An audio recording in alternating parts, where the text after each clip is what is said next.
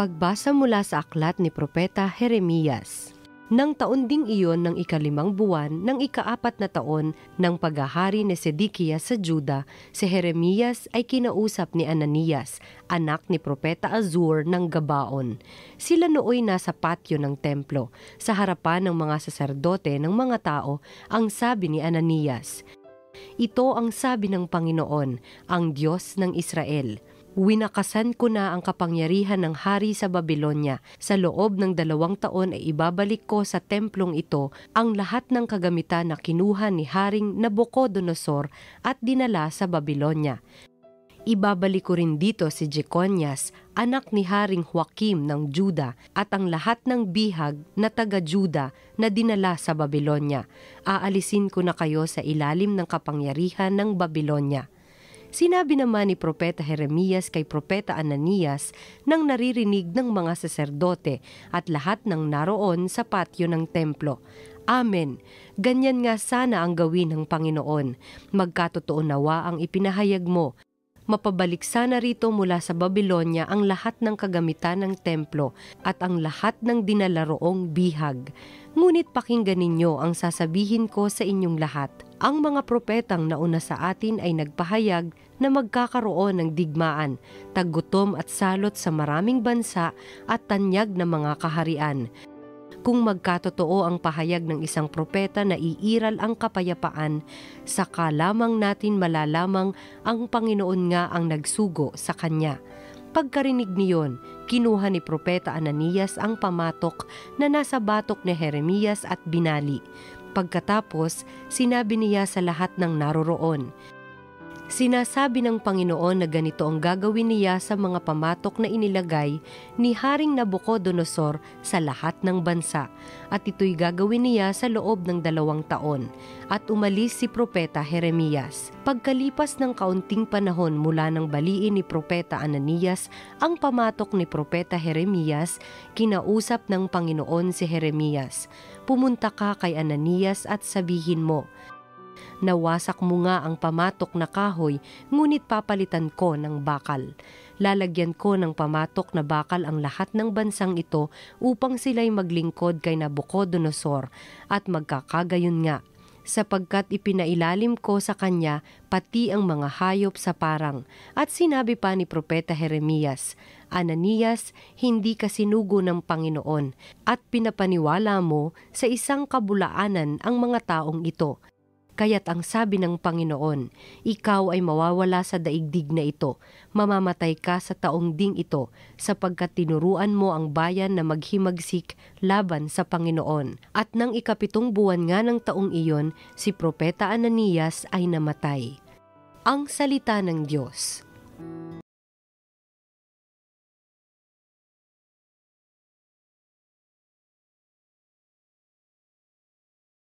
Poon ituro mo sakin ang utos mo upang sundin. Sa landas na di matuwid huwag akong babayaan, pagkat ikaw ang mabuti ituro ang iyong aral. Poon ituro mo sakin ang utos mo upang sundin. Tulungan mong ihayag ko yaong tunay na balita, yamang sa iyong kahatulan lubos akong may tiwala. Poon ituro mo sakin ang utos mo upang sundin sa akin ay magsilapit ang sa iyo ay may takot, maging yaong mga tao na alam ang iyong utos. Poon ituro mo sa akin ang utos mo upang sundin. Sana'y lubos kong masunod ang buong mong kautusan upang hindi mapahiyat tamuhin ko ang tagumpay. Poon ituro mo sa akin ang utos mo upang sundin. Nag-aabang ang masama upang ako ay mapatay, ngunit ako'y magbubulay sa bigay mong kautusan. Poon ituro mo sakin ang utos mo upang sundin. Hindi ako nagpabaya sa utos mo at tuntunin, pagkat ikaw ang guro ko na nagturo ng aralin. Poon ituro mo sakin ang utos mo upang sundin Ang mabuting balita ng Panginoon ayon kay San Mateo. Matapos mabusog ang mga tao, agad pinasakay ni Jesus sa bangka ang kanyang mga alagad at pinauna sa kabilang ibayo, samantalang pinauuwi niya ang mga tao. Pagkaalis ng mga ito, umahon siya sa burol upang manalangin. Nag-iisa siyang inabot doon ng gabi, samantala nasa laot na noon ang bangka at sinasalpok ng mga alon sapagkat pasalungat sa hangin. At nang madaling araw na'y sumunod sa kanila si Jesus na naglalakad sa ibabaw ng tubig. Kinilabutan sa takot ang mga alagad nang makita nilang may lumalakad sa ibabaw ng tubig. Multo, sigaw nila. Ngunit agad siyang nagsalita at sinabi sa kanila, Huwag kayong matakot, si Jesus ito. At nagsalita si Pedro, Panginoon, kung talagang kayo iyan, paparianin ninyo ako sa ibabaw ng tubig. Sumagot siya, Halika, kaya't lumunsad si Pedro sa bangka at lumakad sa ibabaw ng tubig palapit kay Jesus. Ngunit nang mapansin niya ang hangin, siya'y natakot at nagsimulang lumubog. Sagipin ninyo ako, Panginoon, sigaw niya. Agad siyang inabot ni Jesus. Napakaliit ng iyong pananalig. Sabi niya kay Pedro, Bakit ka nag-alinlangan? Pagkasakay nila sa bangka, tumigil ang hangin at sinamba siya ng mga nasa bangka. Tunay na kayo ang anak ng Diyos, sabi nila. Tumawid sila ng lawa at dumaong sa Henesaret. Nakilala si Jesus ng mga taga roon. Agad nilang ipinamalita sa buong palibot ng lupaing iyon ang pagdating ni Jesus. Kaya't dinala nila sa kanya ang lahat ng may sakit. Hiniling nila sa kanya na ipahipo man lamang sa mga may sakit kahit ang laylayan ng kanyang kasuotan. Ang lahat ng makahipo nito ay gumagaling. Ang mabuting balita ng Panginoon pinupuri ka namin, Panginoong Heso Kristo.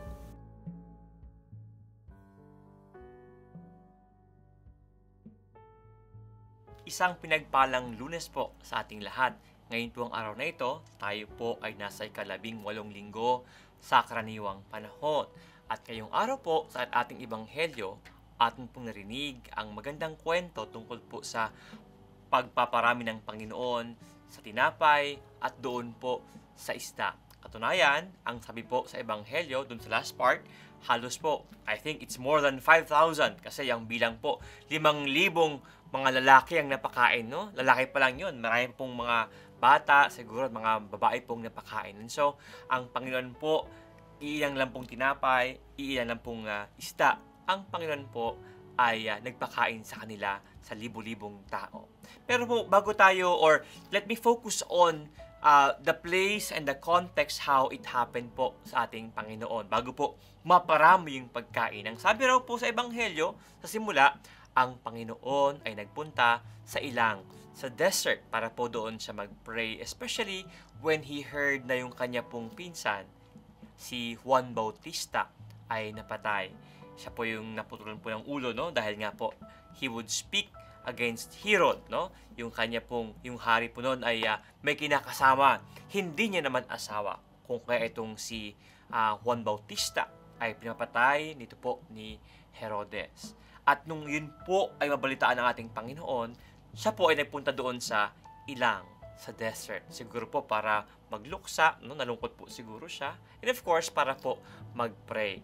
Madalas po sa Ebanghelyo, ang Panginoon nagpupunta sa ilang para po doon makasama ang kanyang ama. Doon po ay manalangin. Yung ilang po, yung desert, yung kanyang kitawag na comfort, comfort zone. Ewan ko po kung kayo man ay mayroong mga comfort zone. Pag kayo ba ay gusto magpahinga or manahimik saglit o magtago, saan ba kayo nagpupunta? Saan po ba ang inyong comfort zone? No? Maraming tao po, yan po ang uh, hinahanap yung kailang comfort zone. Kung kaya may iba, pupunta po sa malayong lugar, sa probinsya, may iba naman sa loob ng kwarto lamang nila, papatayin po yung cellphone, no? Para walang makahanap o mag-text o makatawag po sa kanya. All of us would want to have that comfort zone kung saan gusto mo mag-withdraw, ikaw ay manahimik lang at magpahinga, mag-isip-isip. Pero sana, hindi lang tuwing may problema, ikaw ay pupunta sa comfort zone. Kung hindi, sana, it's a time for you to rest, a place for you to rest and talk with the Father. Siguro maganda pong ating pagnilayan, paano nga ba ang isang tao magkakaroon ng comfort zone? Kasi hindi naman pwedeng ikaw ay gagastos palagi, aalis po na malayong lugar para magka-comfort zone para ikaw ay makapahinga. Ngayong araw po sa Ebanghelyo, marahil tayo po na paalahanan, ang ating Panginoon po nagkaroon ng comfort zone doon po sa ilang. No? Pero tayo naman, wala namang ilang o desert. How can we be able to have a comfort zone? Ang sa sa Ebanghelyo, yung comfort zone, yung ilang kung saan po siya ay nag-iisa sana, yung mga tao nagdatingan. No? And yung mga taong yon ay kanyang pinakain, ng tinapay at ng isda. Siguro po ang unang paraan if you want to play, to find a place for you to find comfort and peace. Unang-una, learn how to share. No? Ang mundo raw po napakasikip na kasi daming tao, no? Ang tao po niya ng mundo ay masikip hindi lang po dahil maraming tao at kulang po yung pagkain, hindi po. Ang mundo ay masikip dahil maraming taong ayaw nang mag-share ang mundo parang hindi na komportableng panirahan. Kasi maraming tao po ay ayaw magbahagi. Gusto, akin lang ito, amin lang ito, no?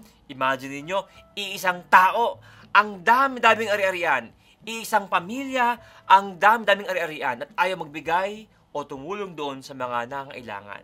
Kung kaya, para sa kanya, akin lang ito. Yung comfort zone niya, yun lang pag may ibang tao, hindi na siya komportable. Hindi komportable mag-share. If you want to find a comfort zone, kahit na without you going to the desert, without you going far, learn how to share.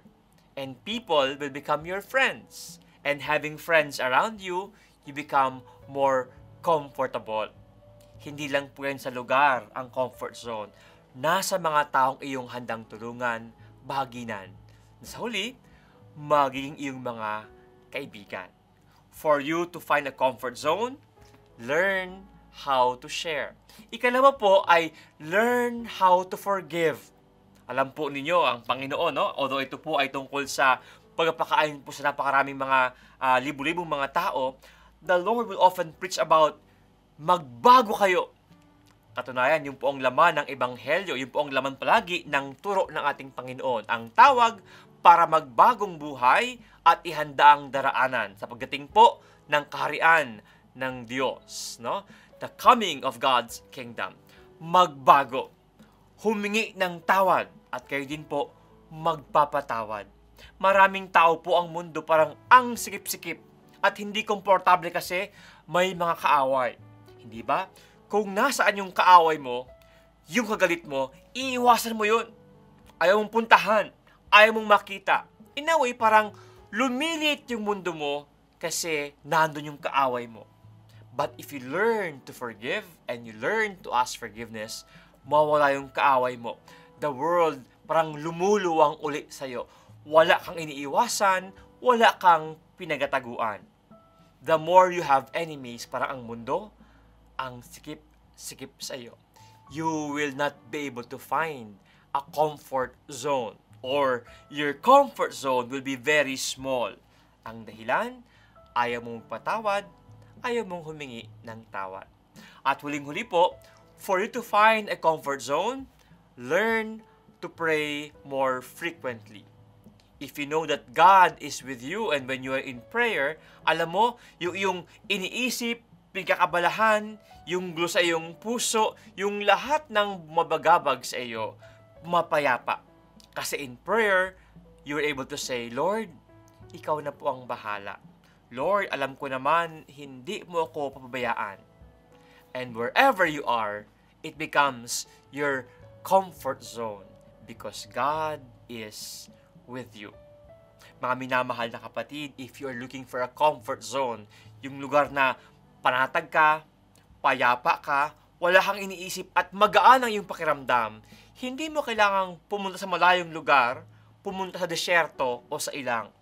Tatlong bagay po ang pwede mong gawin. Learn how to share. Learn how to forgive and ask for forgiveness.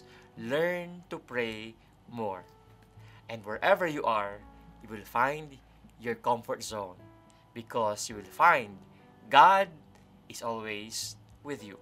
Ngayon po, hihiling ko tayong lahat po ay yumuko at hayaan niyo pong i-bless ko po kayo that you may find comfort zone, especially wherever you are, ang iyong puso po ay magkaroon ng kapayapaan at kahinahunan.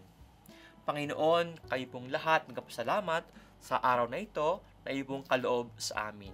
No, Panginoon, kung paano pong mga tao noon napakain mo ng tinapay at ng isda at yung kanilang pangamba ng pagkagutom ay nawala.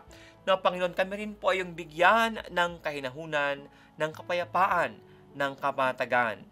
Sa iyong presensya, bigyan mo kami ng kapayapaan. In you we find our comfort zone. Panginoon, iyong iparamdam palagi sa amin na ikaw ay aming kasama. At na Panginoon, ay matularan ang iyong ginagawa palagi, ang magpatawad at ang palaging manalangin sa Ama. Nang sa gayon, kami po, gaya mo, magkaroon ng kapayapaan sa aming puso.